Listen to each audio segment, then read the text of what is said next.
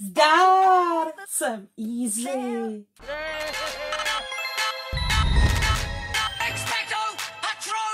Dneska tady máme konečně vyhlášení soutěže o můj merch. Ti, kteří se zapojili do soutěže, tak ví, že se jedná o tuhle skvělou tašku s chobotnicí, což je můj patron, a s nápisem Easy. Skládali jste básničky právě na téma Můj patron. Všechny, naprosto všechny básničky, které jste mi poslali a že jich nebylo málo, kdo chce, může si je přečíst pod minulým videem v komentářích, byly naprosto krásné. Úplně všechny. Dokonce se tam objevila i básnička, že máme dva patrony, jednoho v tom kouzelnickém světě, což znamená nějaké zvířátko, a v tomhle mudlovském světě máme svoji maminku, což je pravda. Je to takový náš patron, úplně od malička až třeba po dospělost, nebo po stáří, nebo pořád. Maminka je nade vše. Krásná básnička, moc krát děkuju. Vybrala jsem teda 10 básniček, které si dneska přečteme. Můžu vám rovnou říct, že jsem četla naprosto všechny, ještě dneska ráno. Bylo to šílený, ale říkala jsem si, mám je všechny při jednom a vím, která mě nejvíc zaujme a která mi zůstane v paměti. A proto jsem právě vybrala 10 básníček, které si přečteme a já vám potom řeknu, kterou jsem vybrala jako vítěznou. Doufám, že se nebudete zlobit, že jsem vybrala špatně nebo cokoliv jiného, ale je to můj pocit, je to můj názor a kdybyste dělali soutěž vy, tak to třeba vyberete úplně jinak, to je normální, každý jsme jiný. Pokud byste teda nevyhráli tuhle tu skvělou tašku, tak ji můžete ještě pořád koupit na chapadláku, je tam myslím, že 25 kousků, tak si na to mrkněte a pokud nevyhrajete, tak tam nalítněte, aby vám ji někdo nesebral. Moc krát děkuji a my se vrhneme na čtení básniček. Beru si k tomu telefon, aby jsme si teda mohli číst. Máme je všechny tady. Tak, první básničku, kterou si přečteme, tak napsal Štěpán. Z hůlky letí modré světlo, ptákům velí krásné křídlo. Je to orel, každý ví, že jiný člověk, jiné zvíře. Když jsem poblíž Askabanu, Moskomory vidím. Musím věřit svému orlu, i když se dost bojím. Když dva lidé propojí se, o patrona pokusí se. Patron větší sílu má, Moskomory odláká. Patron není lehké kouzlo, zaklínadlo nestačí. Musím pokusit se o vzpomínku co nejhezčí. Poté řeknu zaklínadlo, i když nejsem plnoletý. Moskomory zahnalo to, za dlouho zpět přiletí. Hezká básnička, moc krát děkuju Štěpáne. Další básničku, kterou tady mám, tak je od Terezy. Štěstí zmizelo, temno se zjevilo.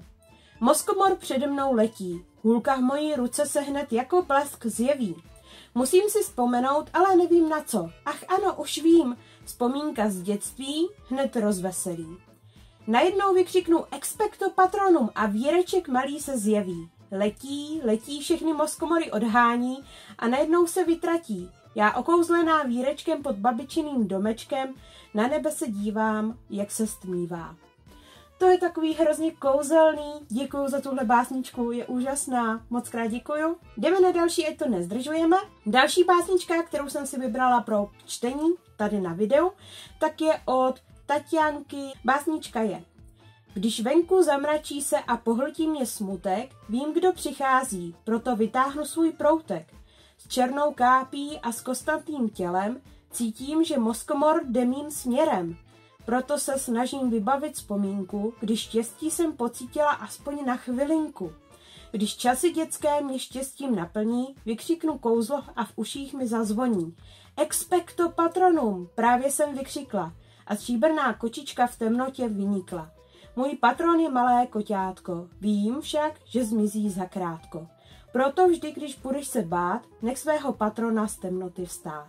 To je tak strašně kouzelný a určitě tě koťátko bude ochraňovat celý život, protože složit mu takovouhle poklonu, krásné. Další básnička, kterou tu mám, tak je od Pati. Je to ve slovenštině, takže se omlouvám, že to možná budu číst špatně, ale slovenština je pro Čechy docela těžká. Ono je to divný, ale je to tak.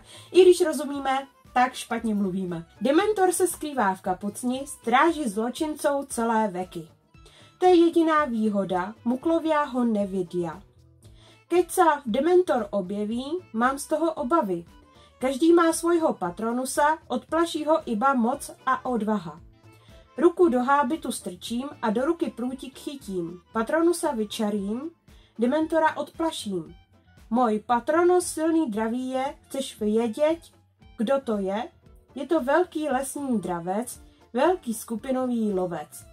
Vybav si nejšťastnější vzpomínku, vyčaruj ho expecto patronum, patronos vzhled zvířata má, moji podobu vlka má. To je tak hezký. Děkuji moc, Paťo, taky za tuhle básničku. Další, kdo mi tady poslal hezkou básničku, i když byly všechny hezké, to říkám, tak je to Tonička. Kdo umí vyčarovat patrona ví, že první z hůlky stříbrný paprsek vyletí. Začne se formovat do podoby zvířecí, jaká bude, poprvé nikdo netuší. Expecto patronum uzve se krajem a chlupatý tvor se rozběhne hájem. Chlupatý ocas i uši, let kdo už možná tuší, že já mám jako patrona překrásného lemura. Je, lemura bych brala taky, to je skvělé, takže ať tě ochraňuje. Jako další jsem vybrala možná nejdelší básničku, kterou tady na videu budu číst a je to od Anastázie. Jednoduché zaklínadlo ochraňuje nás, mávnutím proutku zachrání i vás. Štít mocný zjeví se zas, získávám promyšlení nový čas. V temnotě zvíře se zjeví, moskomoři, odkud přišlo, neví. Z mlhy hyena se okamžitě zhmotní, je má kamarádka celoživotní. Rozběhne se proti stínům v kápích, zažene je, aniž by ji někdo zapích. Usměje se na svou paní, odejde s ní za svítání. Půli cesty sice zmizí, jejich přátelství vždy bude rizí. Ale ani jedna nemusí se bát, protože jsou spolu na pořád. I když se nevidí, každý jim závidí. Kdykoliv je jedna v nouzi, ta druhá se vzpouzí. Aby jí pomohla, to zlo přemohla. Zůstala jako její opora a tak je to pořád dokola. Patron se vždy s láskou vrátí, tak nelitujte toho, že se vytratí. Protože tě má rád, je to tvůj kamarád, tak na to nezapomeň. A když budeš nešťasten, tak si na něj vzpomeň. Jiní lidé by ti řekli s Bohem. On však nikdy a proto je tvým Bohem. Jenž nikdy neodejde, ani se s tebou nerozejde. Vždy tě bude uklidňovat a jen tebe následovat. Děkuji za tuhle básničku, hezká. Jdeme dál. Další básničku tady mám od banánovník CZ. Jakmile moskomor objeví se, moje srdce zastaví se. Já se však nezaleknu, zachovám klid a hůlku rychle stihnu vytasit. A jakmile odbije nám půlnoc, on přispěchá mi na pomoc. Pozvolání expecto patronum, já vyhnu se všem problémům. Je to můj patronus divočák, za kterého se rád schovám. To je hezký. Jdeme dál. Další básničku mi poslala Hermiona Granger a je to znovu ve slovenštině. Dementor na mě letí, zrazu nějaké zvěra ku mne priletí. Je to velká chobotnica, jako jedna velká rukavica. Hned vím, že pri mne easy je, že už mna zachraňuje. Neváhám a hned a já se přidám, z konce průtíka vyletí bělý koň a obě dva naše patronusy idú doň. Veď dva jsou silnější jako jeden. Jízen merč kupuj, dobrý život si tím ukuj. Chapadlák je nejlepší, jízen merč je nejkrajší. Je, to je hezký, děkuju, tam dokonce je to i s mým merčem, to je pěkné. Určitě tě tvůj bílý koníček bude ochraňovat. Jako další tady máme od Terezy Laň. Čistá jako nápadný sníh, krásná jako každý východ slunce, líbezná jako malých dětí smích. Štěstí rozlévá se mi v každé buňce. Když chladce jako stíny toulá krajinou, neutíká nikdy nikam za jinou. Věrnost a štěstí v podobě zvířete i v nejtemnějších časech najde tě. Když moskomor pak chce tě políbit, nikdy nesmíš ztratit hlavu. S hulkou v ruce smím ti přislíbit, přispěchá na pomoc davu. Ta zářící špetka naděje, co štěstí zasti tělem rozleje. To je tak hezký, tahle básnička opravdu rozlejvá to štěstí v tom těle. Máme tady ještě jednu básničku, pokud počítám správně, budeme jich mít deset. A ta poslední básnička je od Janči. Můj patron média Moskomory hlídá, mě rozhodně ochrání, Moskomory odhání. Vždycky mi dá najevo, že já jsem jen jeho. Chrání mě furt dokola a je to moje šikula.